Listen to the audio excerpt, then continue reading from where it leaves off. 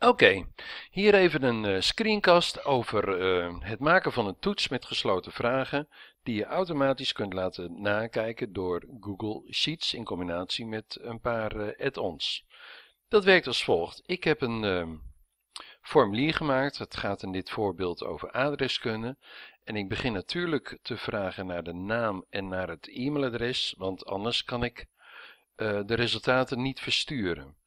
Bij dat e-mailadres is het interessant dat je kunt aanvinken bij geavanceerde instellingen dat het een tekst betreft die een e-mailadres moet bevatten. Dus als je gegevensvalidatie aanzet en je kiest dan voor tekst en je zegt dan bevat een e-mailadres, dan weet je zeker uh, dat mensen daarin geen fout kunnen maken, zoals bijvoorbeeld het vergeten van een apenstaartje of het werken met spaties. Nou, ik heb een uh, paar vragen gemaakt in dit voorbeeld uh, eh, 5.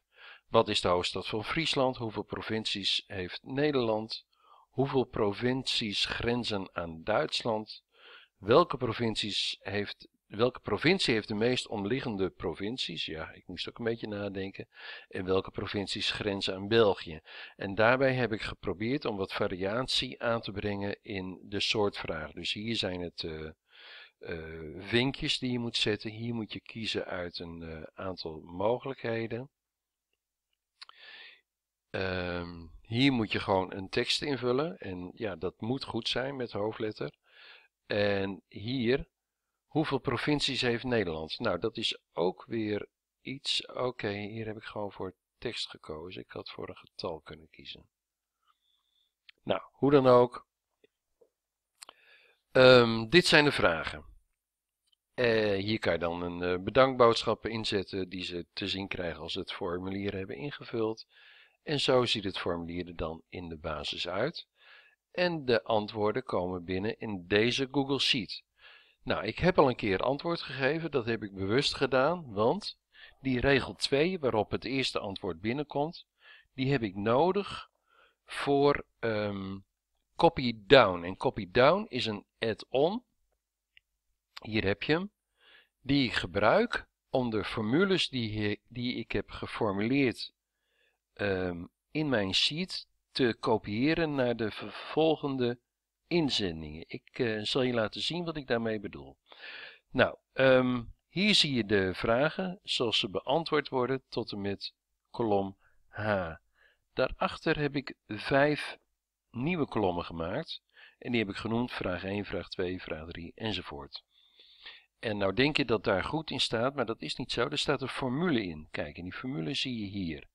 En wat doet die formule? Die kijkt naar wat er ingevuld wordt in D2. Wat is de hoofdstad van Friesland? En die zegt, oké, als dat Leeuwarden is, dan vind ik het goed. En als dat iets anders is dan Leeuwarden, dan zet ik fout. En dat is wat je hier ziet gebeuren. De vraag is goed beantwoord en daarom staat hij hier goed. Nou, in J2 wordt gekeken naar E2. Hoeveel provincies heeft Nederland?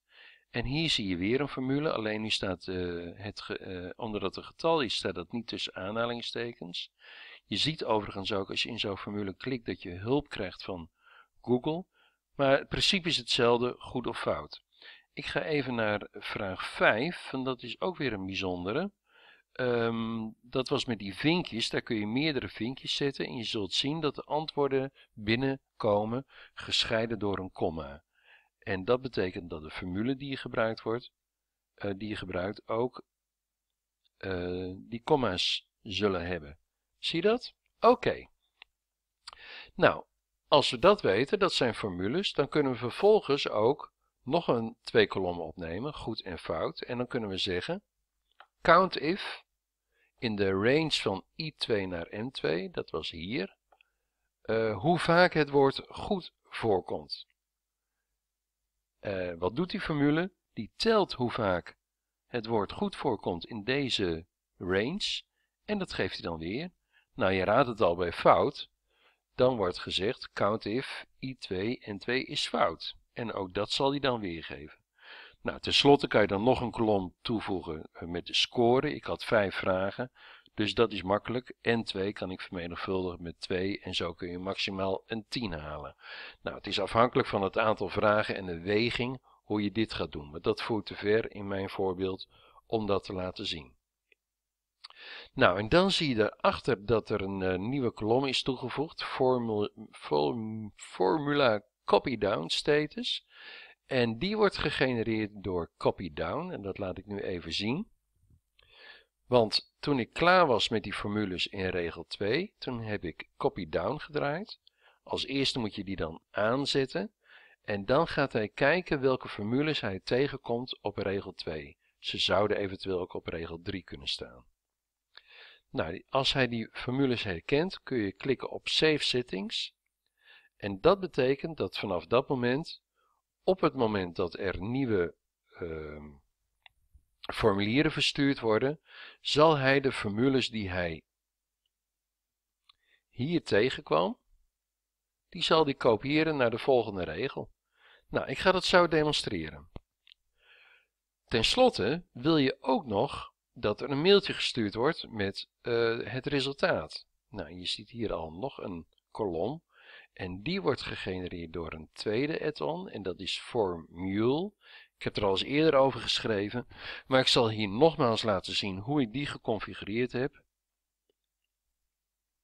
Ik heb dat al gedaan, maar ik zal het nog een keer doorlopen met jullie, zodat je ziet hoe ik dat geconfigureerd heb. Nou, om te beginnen moet je hier of daar uh, de knop aanzetten. Ik doe het hier in deze kolom, omdat ik wil dat er een, een uh, mailtje verstuurd wordt op het moment dat het formulier verzonden is. Dus dit staat op aan. Je zou eventueel ook nog een nummer kunnen registreren, maar dat doe ik niet en er zijn nog meer mogelijkheden. Ik klik op Next. Ik heb een template uh, gekozen, één template. Je zou zelfs meerdere templates kunnen kiezen. En ik klik op Save Template Settings. Dan ga ik naar uh, Edit Templates. En nu krijg je het mailtje te zien zoals ik dat al geconfigureerd heb. Nou, hier zie je de velden die uh, herkend worden in de spreadsheet. En daarom vroeg ik natuurlijk ook om het e-mailadres van de inzender, want ik ben hier gaan staan, ik zal het even leegmaken, zo, ik ga hier staan en dan klik ik op e-mailadres, hoppa, en het wordt gevuld. Ik zou een cc kunnen versturen, ik zou ook een bcc kunnen sturen, dus naar mijn eigen adres bijvoorbeeld. Um, de mailtjes worden verstuurd vanaf mijn Gmail-account, maar ik kan de mensen vragen of ze willen reageren naar mijn Trinmatcher e-mailadres. Nou, ik geef het een onderwerp mee en dan ga ik het mailtje configureren. Beste naam, dat is weer zo'n veld die je hier terugvindt. Sorry, dat je hier terugvindt. Goed, fout, scoren, het zijn allemaal velden die hier in de kolom staan en die ik dus hier heb aangeklikt om het mailtje te configureren. Vind je dat te laag, klik dan op dit is de URL naar het formulier om de toets nogmaals, nogmaals te doen. Nou, helemaal leuk. Groetjes Willem, ik ben helemaal tevreden. Nou, in feite ben ik nu klaar met uh, het maken van het formulier en het inrichten van de spreadsheet met de toegevoegde formules en het configureren van twee add-ons, namelijk de add-on Copy Down en de add-on Formule. En nou zijn we natuurlijk nieuwsgierig hoe het werkt. Dus ik vul het formulier even in. Wat is de hoofdnaam? Nou, uh, dat weet ik. Laat ik ook eens een... Oh, als ik hier een getal invul, dat kan eigenlijk niet, want... Ik zal het je laten zien. Hij wil een getal hebben. Nou, ik schat dat Nederland 10 provincies heeft. Hoeveel provincies uh, grenzen aan Duitsland? Nou, uh, Drenthe, Gelderland. Nou, ik schat 4. Welke provincie heeft de meest omliggende, ja toevallig weet ik dat, dat is Gelderland. En welke provincies grenzen aan België? Ja, dat is Limburg natuurlijk en Noord-Brabant. En volgens mij ook Zeeland. En ik klik op verzenden. Nou, nu gaan we even kijken en je ziet hier de resultaten binnenkomen. En je ziet nu ook uh, dat uh, CopyDown zijn werk heeft gedaan want uh, keurig zijn die variabelen gevuld. En er is ook al een mailtje verzonden. Nou ga ik eens even kijken hoe dat eruit ziet. Heb ik een mailtje gekregen? Ja hoor, op mijn andere account is een mailtje binnengekomen. Beste Willem, je hebt drie vragen goed beantwoord. Je hebt twee vragen fout beantwoord. Je score is een 6. vind je dat te laag? Klik dan hier om de toets nogmaals te doen.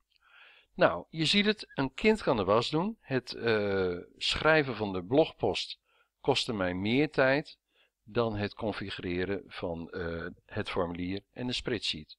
Al met al toch een, uh, hoe heet het, een screencast van ruim 10 minuten. Hoe dan ook, bedankt voor het kijken.